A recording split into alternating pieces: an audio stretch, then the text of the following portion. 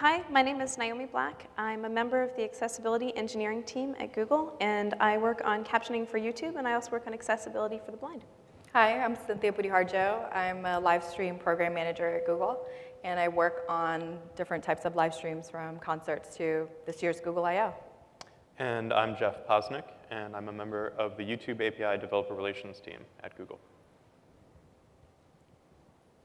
So before we get started, I want to point out the hashtags if you feel the need to tweet during our talk, uh, IO 2011 and YouTube. There's a link for feedback, and if you want to talk to us afterwards about captioning and stuff related to this talk, send an email to captioning at google.com and it will reach us. So I thought I'd start by giving you an overview of what we're going to talk about in our talk. I'm going to start by introducing the captioning that we did here at IO Live, which was uh, streamed from the conference, and talk about that a little bit. And Cynthia will talk to you about how the gadget was created and what that involved. And then we will talk about WebVTT, which is a new timed text format for HTML5 that lets us do some cool things. And we'll show you some demos in WebKit and some code. And uh, then Jeff will talk about the YouTube Caption API, and there will be more code and demos. So I'd like to start by talking a little bit about why captions are important to us. Um, this chart, which you, you can't read it, just notice that there are bars and some of them are larger than the others. Um, the really long bars, so these are um, the world population on the internet roughly by country. And at the top we have China, there's lots of Chinese, and then there's the United States, and it goes down the list. And you can see there's some yellow bars. And the first yellow bar represents the number of deaf and hard of hearing people in the United States alone. And so that number, I like to throw this up because I'm Canadian, um, that's more than the population of Canada that's online. So, you know, nobody would say, oh, well, let's not, you know, let's not broadcast this to the Canadians. They could care less. But sometimes when we put video online, if it doesn't have captions, you're excluding a population that's actually larger than that. So I like to throw this graph up to really show you the numbers. So we caption our videos for accessibility reasons, obviously, but um, captions and timed text are actually really powerful for the web because video is really hard to search. But when you caption your video, the full text of that video, if you upload captions to YouTube, that full text becomes searchable. So you can actually search inside your video on something that was said at minute 30 that may not be in your talk description or your title. Um, caption video, because the captions are text, we can do cool things with it. We can change the size. We can translate the captions using machine translation. And our audience on the internet doesn't necessarily speak our language. We're really, we want to reach the world. So captions are helpful for translation. And finally, there's a lot of people who use same language subtitling. They may be learning your language, and so having the text underneath the speaker helps them follow an accent that's unfamiliar or somebody who's speaking faster than they're used to. And I like to show this picture. This was taken at a conference that we had uh, in France recently called Atmosphere. And this was CIOs and CTOs and business people that nobody was wearing a t-shirt. And um, they, they all met in France, but they spoke English. And very few of the attendees had English as a first language, but it was the common language that everybody came to do business in. And so to help our attendees, even though there was nobody at this conference who was deaf or hard of hearing, as far as I know, we presented the text on screen and in all of the talks behind the speaker so that everybody who was coming together and using this language that was unfamiliar to them would have the assistance of the text. You think about developers in Japan, they're very used to reading English, but maybe not as used to hearing it spoken, especially for technical terms. So these captions really help everyone. So at I.O. this year, we have live captions. We actually had live captions last year, but this year we decided to go a step further with the huge interest in I.O. Live for the streaming video. We really wanted to accompany um, the video with captions and make those available not just here at I.O., but for the world. So I'm going to talk a little bit about what that involved. Um, the first thing I need to tell people is that captions are done by people.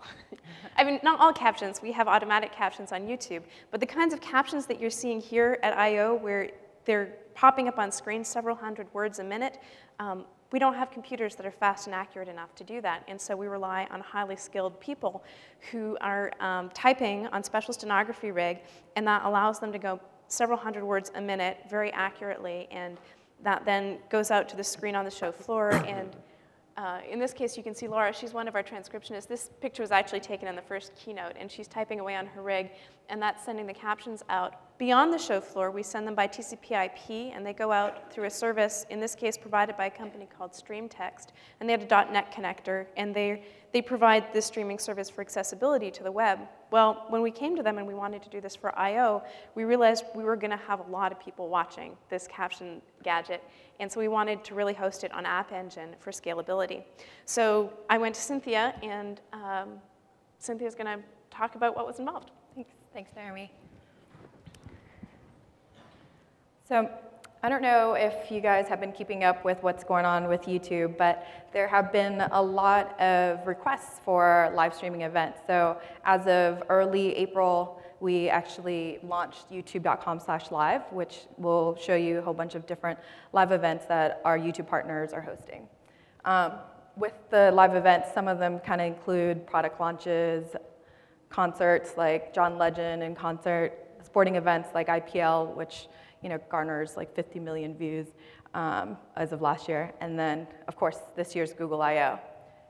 As of um, the increase of live events come on YouTube, we've noticed that some of these events include these informational talks and where there's a lot of speech that's, been, that's going on, and we have a lot of non-English viewers as well as um, you know, just people who might not really be able to understand somebody speaking very, very, um, very fast.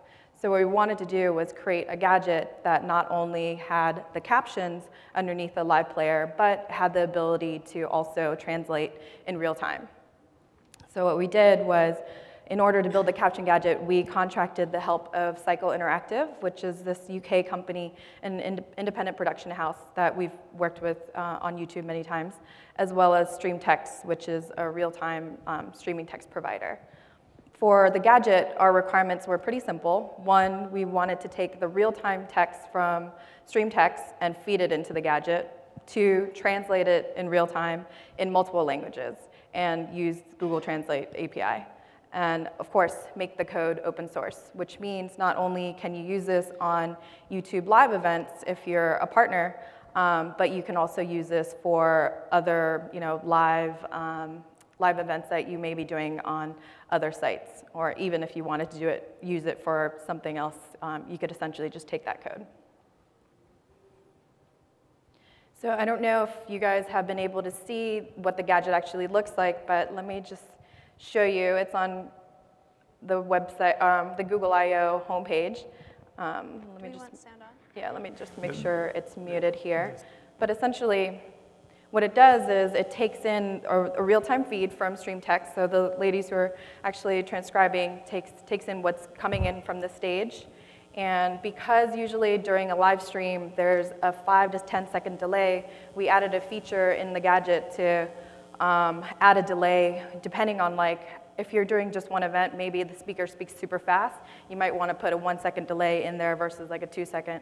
Right now we have like a two second delay on all of our um, on all of our streams. But essentially, the features that we added in here were the ability to take in that real-time text. Um, it's all hosted on App Engine, so we actually had to make a special request and have the App Engine team provision um, you know, a, a, lot of bandwidth for us so that we can um, take in all these requests from users. And I'll, I'll share some stats with you later on today. And with um, Google Translate, we have the ability to translate this into 57 languages. So let me just demo, um, let's do Croatian. What it does, it takes a bit, of a couple of seconds, and then it'll translate to Croatian super fast. So what it does is, usually for the English translation, it's word for word, but because we wanted Google Translate to translate the context of the actual speech, we wait 35 characters. I don't know if anybody here speaks Croatian, but. I saw somebody actually tweeted that they, they were watching it in Hindi. Oh, cool. I, I don't speak Hindi, but they tweeted about it. so um, those are some of the features we had. So some of the technical challenges were, you know, how are we going to handle the viewership? App Engine um, helped us with that, as well as that delay that I had, I had mentioned. Here's some stats that we got from just yesterday uh, Vic had mentioned, you know, there was 600 uh, viewers to the stream. There was actually 250 viewers to that captioning gadget itself. 250,000 viewers, sorry. I like to shorten things. Um, the top five countries, or the type, top five languages people selected were English, Spanish, Portuguese, French, and Russian. And then out of the 57 languages that Google Translate had the ability to translate into, 52 languages were actually selected, which is kind of amazing number. So you're probably wondering if you wanted to use this gadget, how to go about doing that. We made the code available. We'll make this PDF um, open to, to you guys after the session. So just follow that link for Google Code and you can get it there. As well, if you are a YouTube partner, um, especially a live partner, go ahead and speak to your Google or YouTube rep and uh, you can ask them how to go about using this for your next event. I'll go back to Naomi and she can talk to you about WebVTT. Thanks, Cynthia. So we've been talking about captioning, but you notice on this slide I've changed the term to timed text. And so I'm going to explain to you why we're not just talking about captioning anymore. So timed text encompasses much more than just captioning. It encompasses any use of text that's useful for video where there's a time component that's important to us. So people who are hard of hearing or deaf they're going to need captions to understand the context of the video. But people who are blind are also using a form of timed text called audio description. And traditional audio description, if you go look on YouTube, actually, there's a talk on WebVTT that we gave a few weeks ago, and you can find there's an audio description version. So audio description is the process of creating a new script for a video that includes all of the visual elements that somebody who's blind might not have available to them. So you might think about taking something like this talk and putting it online. Well, a blind user can listen to everything they're saying, so they must be getting everything, right? But they're not going to get that slide that I put up with the bars that actually none of you could see either, but they wouldn't be able to see Cynthia's talk, um, the part of her demo. And so what audio description does is it provides this information in a script that's written out, and the script has time cues and says at this moment, describe, you know, the slide on screen shows a pie chart and, you know, and so on. So audio description is useful for blind users, and it has a text and a time component. Um, you can use synchronization for music lyrics. You can do your own karaoke. And uh, navigation is very helpful. You think about what we're able to do today on our DVD players where you can just cue ahead through chapters. It would be great if you could do that on YouTube and just say, oh, you know, I want to jump ahead to the more interesting part of this talk. So HTML5 has a text-based solution for all of these. It's called, uh, well, actually, HTML5 under the, the video element has a, a, track element that accommodates time text. HTML5 doesn't recommend a particular format you can support any format that you like. And so in this case, we're proposing a format called WebVTT, and I'm going to show you some demos in WebKit that show that support. So here's an example file in the WebVTT format. And um, in WebVTT, we have things that we'll call cues. And so a cue is basically some text that has a start time and an end time. So in this case, you can see there's a start time point, and then there's an end time point, and then below it, there's some text that is appearing on screen between those two time points. And you can see that we've marked this up with simple HTML styling. We have support for italics and bold and underline. Um, and so then the next line, I've actually got, you have positioning that we can specify as well. So I can say T percentage 60%. And if you look, the center line of the captions on it, it's a little hard to see, but the, the captions, the center line, are a little off from the center. We've, we've positioned them over to the side. Um, and we can set a line position as well. So I can very accurately, using WebVTT, pinpoint exactly where on the screen I want that text to appear.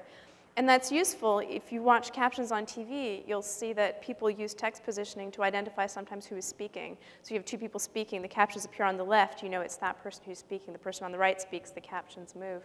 Today, if you look at YouTube, we don't have that capability. And so um, we're looking ahead at the web, we want the web to offer everything that our TV captions do, maybe even more. And so positioning is a really important part of that. So here's another WebVTT example file. Um, because WebVTT is on the web, we really want to use the richness of CSS and HTML. And so in this case, I've defined a pseudo element inside my cue. I have c.arduino. And you can see the CSS for my page then specifies how that Arduino cue should be styled. And so I've set the color to be red and the text to be uppercase. And this is really interesting to me. One of my responsibilities at Google is making sure that our content is captioned. And I speak to a lot of YouTube partners. And we see more and more TV content that's moving to the web. Well, if I'm watching Doctor Who in Britain, I'm going to see my captions according to UK caption standards. So individual speakers will have their text styled in different colors. Whenever I see blue text, maybe that's the doctor speaking, and I would just recognize and expect that. But here in the United States, we're used to seeing our captions all in the same color, and they're styled a little bit differently. So currently what happens, if I'm the BBC and I want to provide that video file, I have to make my caption file twice. I have to make it once for the UK styling and once for the American styling, and again for any other region that I'm distributing to that has a different look and feel for captions. But with CSS, you could see how I could create a single caption file that marks things up semantically, and then I could use CSS on my web page to style it differently depending on who's watching it. I'm going to gloss over this slide pretty quickly. I just want to indicate this is allowing us to do um, Chinese and Japanese characters. We have full UTF-8 support in WebVTT. So unlike many broadcast formats where the text has to be rasterized to represent double byte, in this case, it just stays as text within the file. And because it stays as text, we can translate that text, and we can search on that text. And for the web, that's really important. So here's an example of the, the caption the type of captions that, sorry, let me step back. Here's an example of the video element um, in HTML5. So I've been talking about the format. Let me tell you a little bit more about how you would represent this in HTML5. So the video element in HTML5 says, okay, here's my video element, and then underneath it I have a source element for the video file, and that tells me where to find the video that I'm going to play. And then I have a bunch of track elements. And these track elements here, you'll notice I have two different types of tracks. I have a captions track and I have a subtitle track. And so the subtitle track, that would be just the text. Like if you're watching a French movie and you see just the text that's appearing, it doesn't represent any of the noises or the background sounds that a user who's deaf might be relying on. Whereas captions include often in square brackets things like laughter or applause. So we have two different kinds. We have captions and subtitles. And when I set the kind to be caption or subtitle, what happens in the player is the player then says, oh, this is for me. I should display this as text, as captions on screen. So I'm going to show you a demo of that. So what I'm running here is Chromium. And I have, um, I have a very new build of Chromium. We, we literally got the first implementation support of some of these things in last week. So if you install Chromium today, you won't see this, but we're hoping by the time we've unit tested everything and, and we've checked everything and, and, and made sure that it's really solid, um, hopefully by the end of the summer or early fall, you'll be able to see these as well. And because these things are going to be baked into WebKit, um, they'll be available in any browser that supports WebKit. So you, as the video provider, you don't have to create a new player every time you want to include a video and make it accessible. Okay, so here I am in Chromium. I'm going to play my video. Can we turn the sound on? All right. Can we turn the sound down a bit? okay, that was a little scary. Let me go again. Uh, so I just wanted to so here we have, he's speaking. There's text underneath. You can see it's styled with italics. And I can change the caption language here with the selector. This selector is using JavaScript, but eventually this feature would be built into the player. So let's make them German. Introduce you to W3C and... And this is not machine translation here. Let me show you the index file.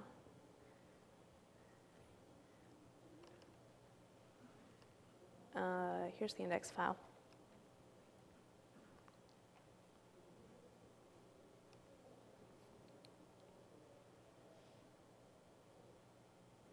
Okay, so here you see this is the same thing that I showed you on my slide. We have a video track, we have the source, with, the video element, we have the source element, and then here we have two track elements, one for English and one for German. And that's what I'm playing here in my video in the demo. So let me show you what the WebVTT looks like. And just to prove to you that I'm really doing this live, I'm going to make a change to it. So I'm going to open this with TextMate. So this is really simple, right? I'm editing this in a text editor. I don't, I don't need a fancy tool, although if I'm doing lots of these, a fancy tool might be helpful. I can just go in any text editor, and here I'm gonna change these italics to be underlined. And I'm gonna save my file. I'm gonna go back. Gonna reload my page. Uh, did I reload it? Let me try that again. Okay, so let's play the video and see if it's picked up my change. So now you can see that change that I made is right away reflected in the video. And it's the player that's doing that. It's, it's WebKit that's handling all of the code to do that. The HTML at my end is really simple. So let's go back to the slides. Okay. So audio description, I was mentioning how audio description is helpful to people who are blind. Um, I'm going to show you a demo that demonstrates how you can use just plain text and send it to the speech synthesis on your computer in order to render um, audio description. So normally you would have to do a video production step where you have a file that, um, you have a WAV file that you then mix in with video production, and that can add a lot to both your cost and the time it takes you to produce something. But what if you could just type that out and provide it just like you provide a text transcript and rely on the screen reader on your computer to do it? So let me show you how that works. so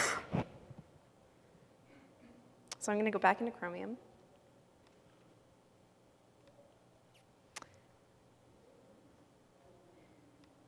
And I'm going to go turn on Chromevox. I don't know if you were in the earlier talk on Chrome. Chromevox is the extension for Chrome uh, that we released this week, and it's, it's basically a screen reader for Chromevox. So in this case, actually, let me go show you this in the slides again. In this case, the kind is description. So when I set the kind to be description, then the player in HTML5 knows that it's not supposed to render this as text on screen, it's supposed to play it through speech. So you can see it's, again, start time, end time, and then some text. So let's go into Chromium. Okay, I've turned Chromevox on. Hopefully the sound is on. Blender, Elephant's Dream, tab. So that's Chromevox telling me the tab is open. And I'm going to hit play and see what happens. So the audio description should be describing the, video, the visual elements on the screen, and it should be using, doing it using the screen reader voice that's already on my computer. So let's see how that works.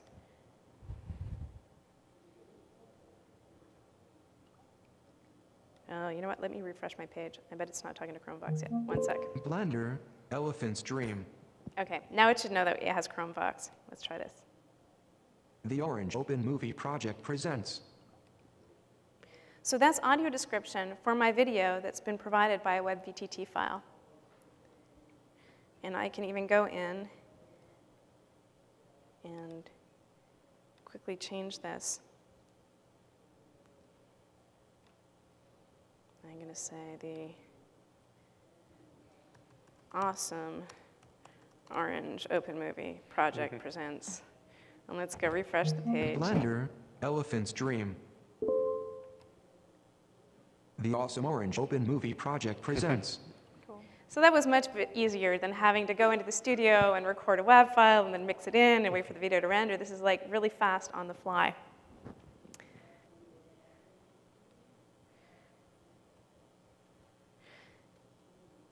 Um, so my next example is to show you how we can do chapters uh, using kind equals chapters. In this case, when my track element in WebVTT is provided with kind equals chapters, then it knows that what it's supposed to do is use this to enable some kind of navigation. And I'm kind of hand-waving here because we haven't built the full support into WebKit yet, although we're going in this direction. What I'm going to show you today um, involves using JavaScript to do the same thing.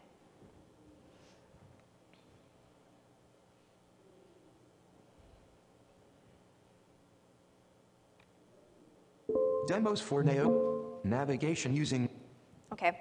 So imagine that we don't have the screen reader on and you're looking at this as a sighted user. You can see that there's a handy navigation pane down the side and it's got a bunch of text that tells you each of the slides that's available and what they're about and I can go click on them.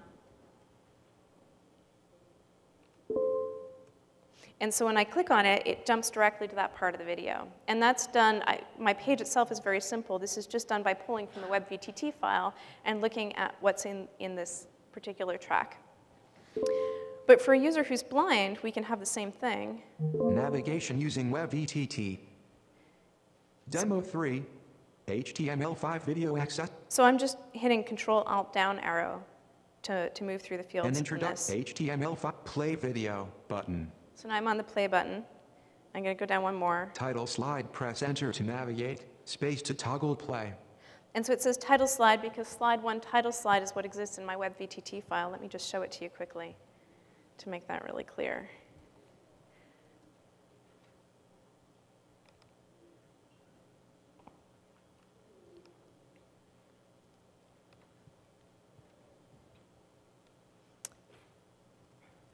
And you can see it says start time, end time, title slide, and that's what my screen reader is reading out. So here, going back to title my demo slide, then, press enter to navigate.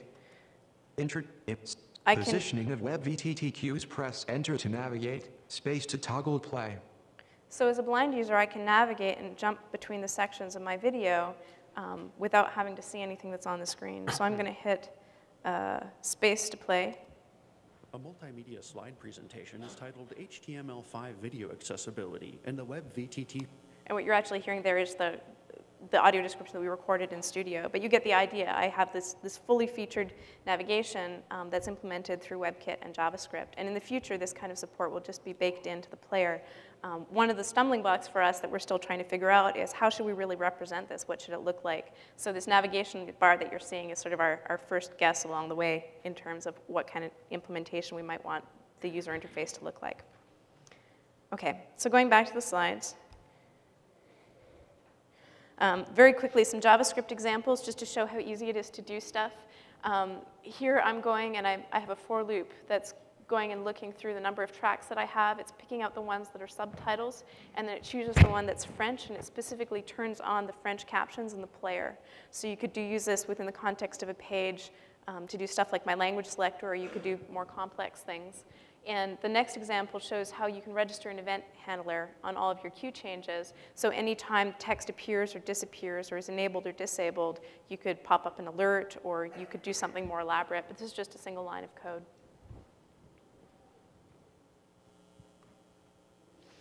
So for the future of media on the web, we're really excited about WebVTT, and in part, we're excited about it because it's a fairly simple format. It's a simple format for somebody who's creating content to use an author, but it's also fairly simple in terms of what a browser needs to support in order to enable sort of the full range of features that are, enable, that are available today in broadcast captions, and then go beyond it with some of the richness of the web through CSS and JavaScript.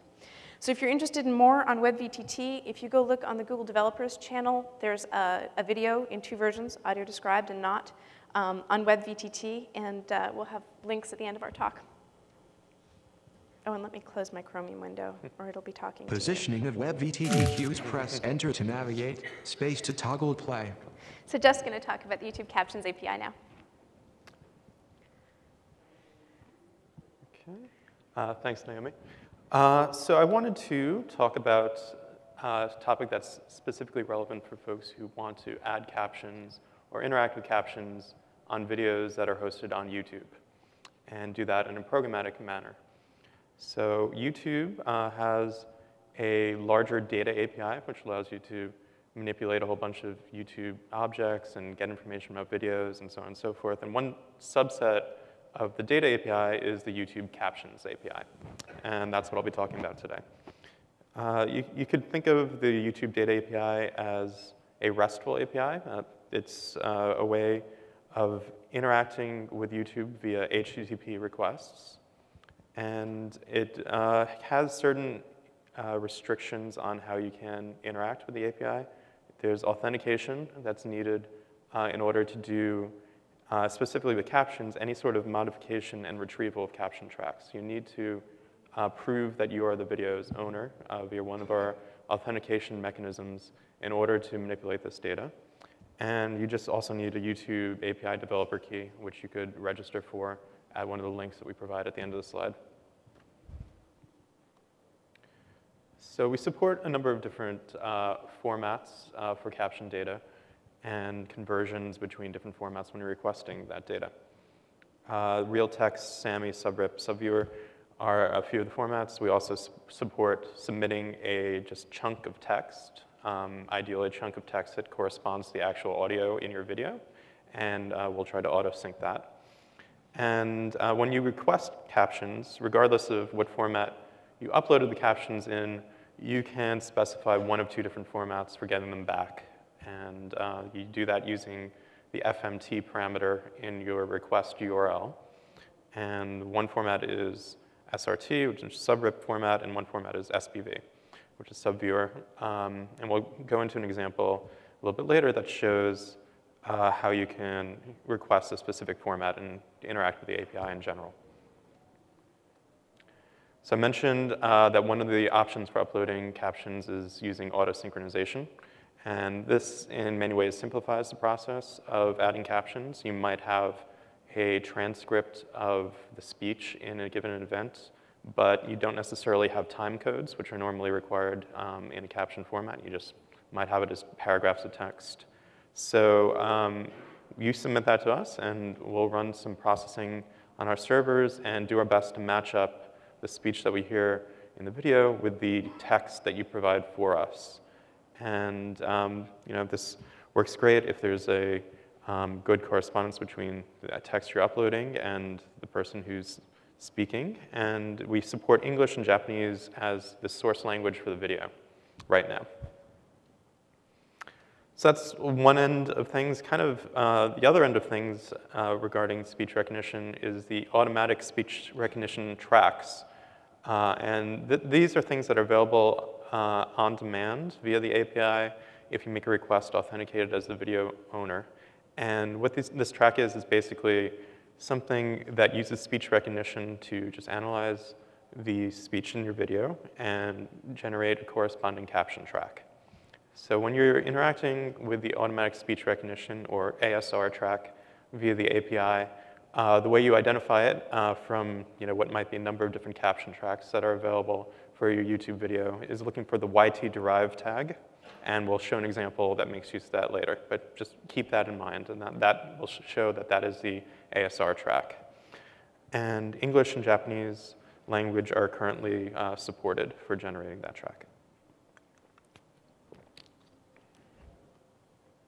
So uh, I have a piece of demo code I, I wanted to uh, show for you guys. And before I do that, I wanted to tell you a little bit about what it's going to do, obviously. So what we want to do is take in a video ID uh, corresponding to a YouTube video. This is just a unique identifier, so we know which YouTube video we're operating on. And we're going to retrieve the ASR caption track for that specific video. Uh, we're going to translate it into Pig Latin, and then we're going to upload that translation as a new caption track for that video. So what we're going to see is Python command line code.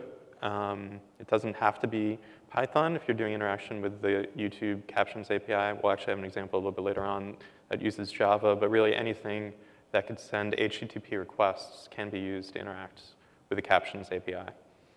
And uh, this Python command line code is actually using the new Google API Python client library for um, handling some of the authentication uh, that I mentioned is necessary and um, that actually makes things a lot easier for me as a developer and, and, you know, for you guys as well if you go out and write some code. So I, I definitely recommend that if there is a uh, client library available for the language that you're programming in, to take a look at using that because it will simplify things.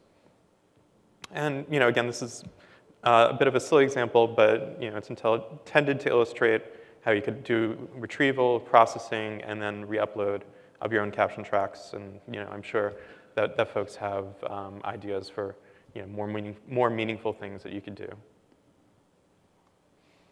Uh, so as I mentioned, there's a few different steps involved here. Uh, the first thing that our code is going to do is use OAuth 2 authentication to uh, request access to your YouTube accounts.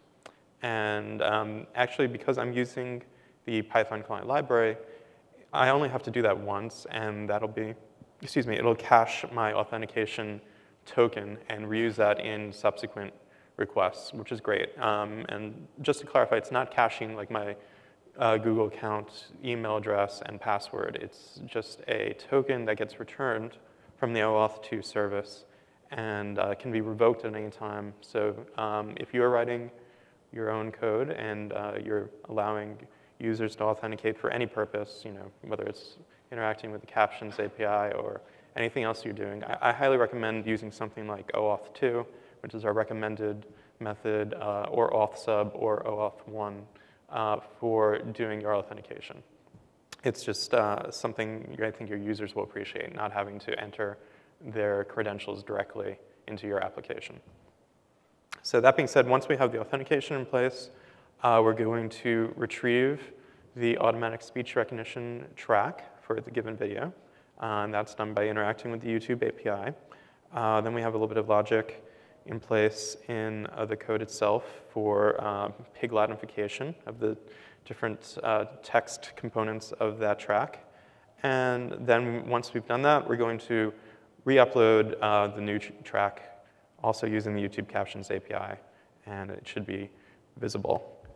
On YouTube. So before we get into that, I want to bring up, this is uh, our source video that we're going to be operating on here. This is a video I took of my son rolling over for the first time. This is my actually. first day home with you. And you can see here, this is like the automatic speech recognition track that was generated for this video. So that's what we're starting with. Um, you see, there's no other um, caption tracks that are currently available. So uh, this is the code we're going to be using. Uh, it's available, you know, as, as part of um, just a, a whole collection of samples that interact with the YouTube API, so feel free to uh, check out the actual code. I'm not going to go through everything here, but you know, afterwards, uh, take a look for yourself, and I'm going to go through a few relevant sections. So the first thing um, that's important in terms of interacting with the YouTube API is this method uh, get ASR track URL. Uh, what it's going to do is first generate a specific URL because this is a RESTful API. Uh, everything is identified via URLs, and it's plugging in the video ID that's read from the command line into a you know, well-defined format for uh, the captions track. And this is something that's going to get a list of all the captions that are available for a specific video, assuming there are any. So once we have that, sorry, once we have that URL, we're going to uh, make a HTTP request uh, pointing at that URL, and I'm just making use of the fact that the Python client library can generate um, the necessary authentication headers uh, for my request. So again, this is going to be an authenticated request. Um, otherwise, I won't get back the ASR caption track. And once I look, get the response, take a look make sure it was a successful response. Um, I'm in my URL, I'm specifying that I'd like to retrieve the data back in JSON format, um, JavaScript object notation format, which is very easy to uh, deserialize in Python um, and then to use uh, just normal Python methods for interacting with that data. So that's what I'm doing right over here. I'm calling JSON load string body, and then I'm looping through the response, uh, and I'm taking a look at the diff different uh, elements in the response and trying to find the specific captions track that has the YT derived tag. And since I keep skipping ahead anyway, let me just show you what uh, the relevant portion of the response will look like. So, you know, it has the YT derived tag in it, and then there's a related content element that has a source um, attribute within that, and that's the URL for the specific caption track that we're looking to get. So it's kind of a two-step process. First, we have to get a list of all the caption tracks for a given video, and we loop through them. We find the specific caption track that we're looking for, and we get that corresponding URL. And that's what's going on in that code. And the next step, uh, once we have that URL, we want to retrieve it again. So we're making another HTTP request. Uh, this time, we're using that FMT parameter that I talked about before. Uh, so we take whatever the URL that was returned from our previous request, we add on the FMT equals SRT parameter so that we get back the captions in the SRT format. And much like before, we're making the request, we get a response back. Assuming it's a successful response, we're going to actually make use of a Python library for uh, dealing with SRT files that makes it very easy to manipulate them. So subrip file, and we load it from the string. And uh, what gets returned from this HTTP request is really just the SRT data um, as a string. So it's very easy to load that in to this object. So the next portion of the code uh, is kind of pig Latinification. So now that we have the data available and, and loaded into memory, we can perform uh, the steps needed to turn it into Pig Latin. For those not familiar with, uh, I guess, the concept of Pig Latin, uh, you take the first letter of a word, and if it's a consonant, you move it to the end, and you add AY after it. Uh, if the first letter is a vowel, then you just leave that alone, but add W-A-Y to the end. Uh, so my, my particular code does not use a very sophisticated Pig algorithm. Uh, if you have any production processes that depend on like really rigid Pig Latin completely to specification. I do not recommend that you take a look at my code and copy that. But uh, for this particular purpose, I think everything's fine. So, you, you know, you, the basic idea is, you know, thank you for reading this would be Hankte, Yue, orfe, Eating Ray, Histe. So it's going to do that. It's actually looping. I'm, I'm not showing this code, but it's going to loop through each of the different um, items within the overall caption track. It's going to keep uh, the time codes in place. We're not changing that, but it's just going to translate the actual text. And the final step, uh, once we've done that, we have this loaded in memory somewhere. We want to uh, push that back out to YouTube using the upload capability of the Captions API. So uh, there are a few specific steps that need to be done uh, for this. You need to set a content type header in your HTTP request uh, to a specific string, which we have documented. Uh, you have to set the content language to content language header to the ISO language code of the uh, language corresponding to the caption track you're uploading. Uh, there is no ISO language code for Pig Latin for some reason, so I'm just going to use English, uh, and I have that hard-coded in my script. And there's a header called uh, slug, which represents the title of your captions track, and I have that hard-coded as well. So uh, once we have those headers set up, we again create just a URL by plugging in the ID of the video. And we're going to make a post request in this case. We've previously been doing GET requests because we've been retrieving data. Uh, just you know, in RESTful APIs, when you want to create something, you normally will make a post request. So we're doing a post request. We are setting the body of the request to be equal to the translated captions body. And we're using those headers that we defined before. So that's the relevant portions of the code. I want to show you the code in action. You don't really see too much going on here, but hopefully this is somewhere in my history. Here we go. Um, and this is also making use of the stored credentials that I have from a previous time that I've run the code. So I have my OAuth 2 credentials already uh, saved somewhere. I don't have to authenticate again. So this will run. Captions are successfully transmitted. And if I go back to this video,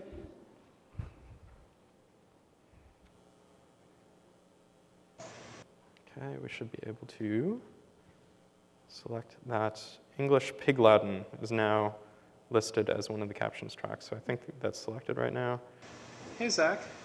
This is my first day Yes, there we go. Okay, so, um, you know, it's that much more of a meaningful moment when it's in Pig Latin, I, I assure you. Okay, so that's one example. Uh, here's another example. I'm not going to go through all the code for this, but I wanted to uh, just show this to you, and you could take a look at the code later, and you could actually use this uh, as something that's fully deployed to App Engine right now, and you might find it useful for your own uh, purposes. So this, this is actually an application that I wrote um, in response to uh, talking to Naomi, and Naomi, among other things, uh, is responsible for providing captions for the many, many videos that get uploaded uh, that are associated with Google.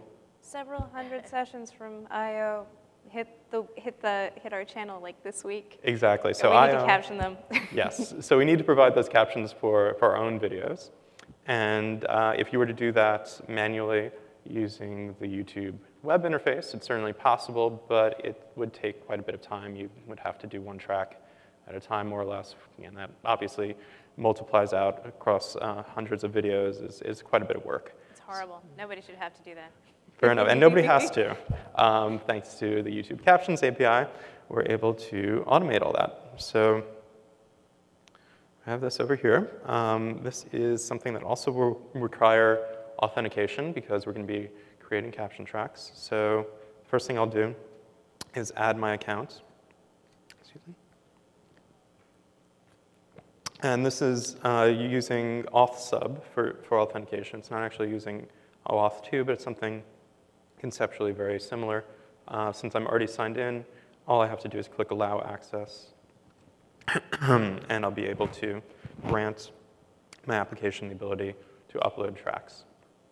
So at this point, now that I've authenticated, it knows who I am. and I could select local files. Get this from the desktop. So I have three tra caption tracks here. Um, the name of the caption track is actually important, as we, uh, just as a way of saving time, we read the video ID from the name of the caption track, and we also read the language code. Um, so you'll see these all are video ID underscore language code, and if you wanted to, you could also put in the name of the caption track uh, here as well. So now that I've selected those three files, and you can select um, an arbitrary number of files and can be for a bunch of different videos. It doesn't all have to be for the same video. We click Start Upload. And what you should see is that these caption tracks are being pushed out. It's using uh, the YouTube API. This is actually Java code running on App Engine. And uh, it's talking to the YouTube API very similar way to what we previously covered. And you get back um, actually using the channel API in App Engine. We're getting back response from the server to our browser saying, okay, all these three things were a success. Uh, if any of these caption tracks you know, were badly formatted or there were any other errors, you know, we'd, we'd find out about that right away as well and we could you know, take appropriate action. So now that that's been completed, we should be able to go back to our video, reload this one more time. And we have the caption tracks listed here. So in addition to our Pig Latin track, uh, I just uploaded English, you know, Hebrew, and Italian. This doesn't actually correspond to the text in the video, but yeah, just showing you what you could do.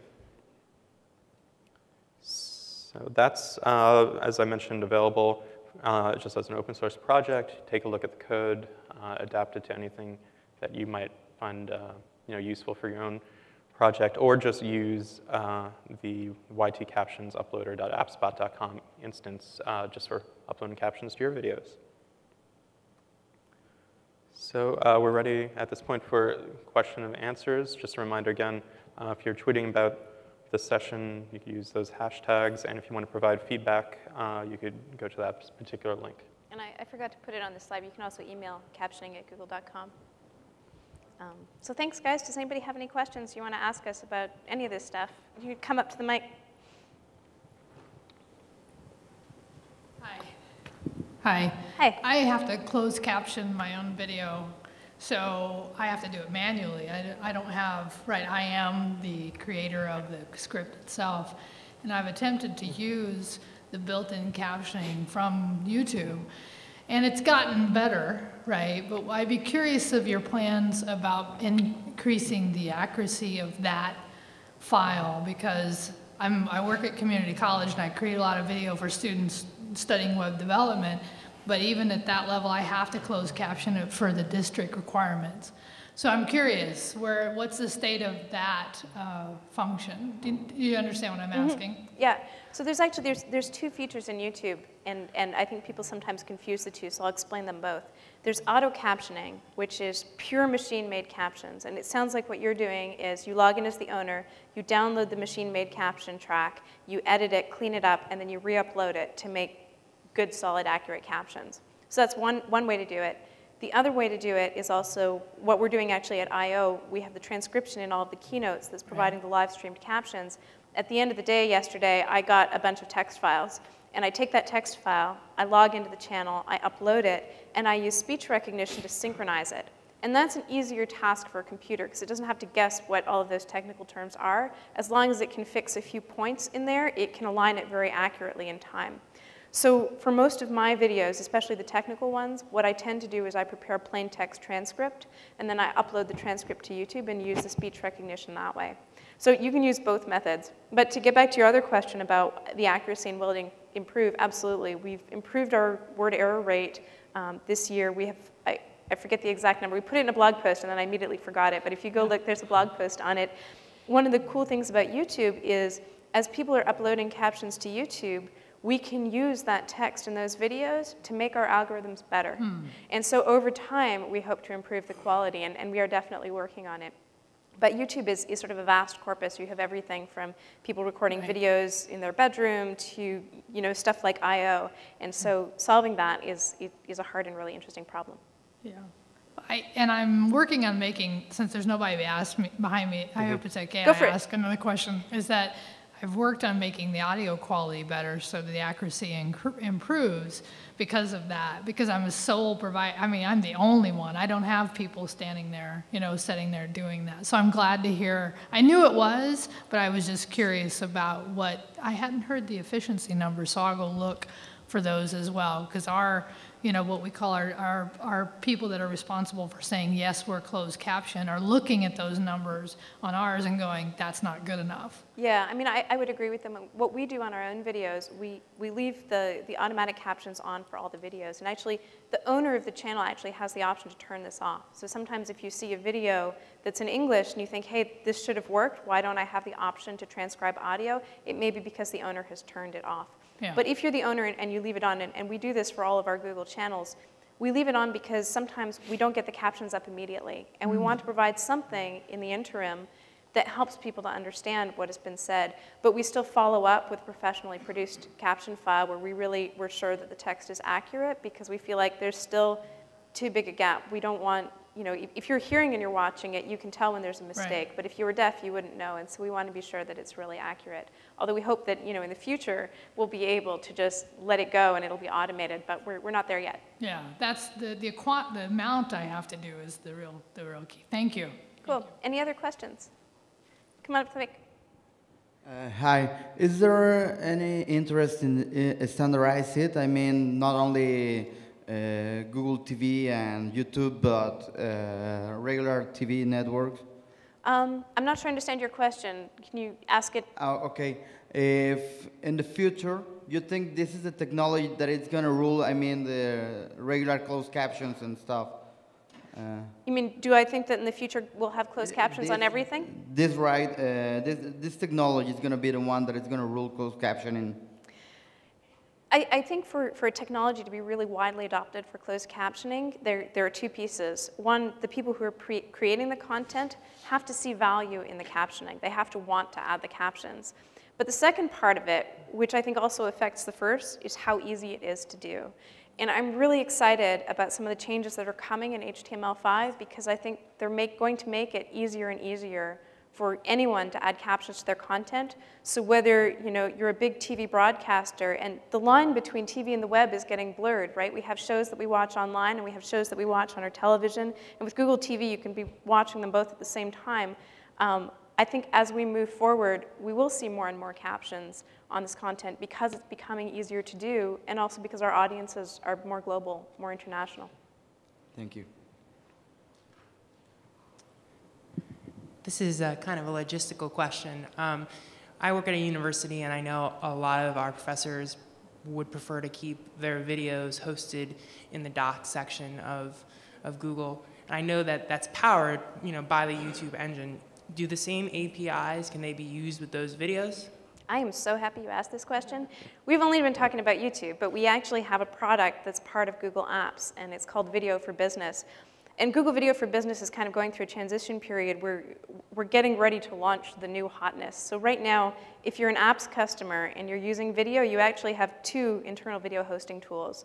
You have Google Video for Business, which allows you to post captions, and you can even do the speech recognition transcript synchronization in Video for Business, and all of those are private to your domain and hosted in the cloud. The, the new hotness that's coming is basically you'll be able to just upload a video file as part of Docs. So the same way that you would upload an image file or a document and Google Docs would store it for you and share it, let you share it with people, you'd be able to upload a video and you can just play the video right there in Docs. And that video player in Docs um, needs to have captions. And it needs to have an API that lets you interact with them. We're still building that out, but in the future, that's something that I think a lot of our enterprise customers are going to need, and we're definitely focusing on it.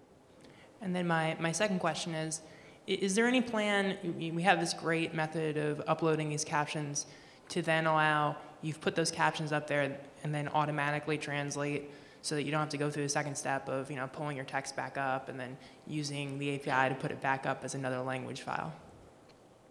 Um, so I'm sorry, I don't think I understood the question. Try, try that again in a different I'm way. sorry. So, is there any plans if you have existing tracks, captioning tracks that you've you've put up there, um, to automatically allow users to then translate them to another language. Oh, we have that now in YouTube. Um, But can if we you- pop up. YouTube? Oh, Yeah, I- I'll show you quickly. I could drive that. Pop up YouTube. So let's see, let me choose something over here. Translate captions, I believe.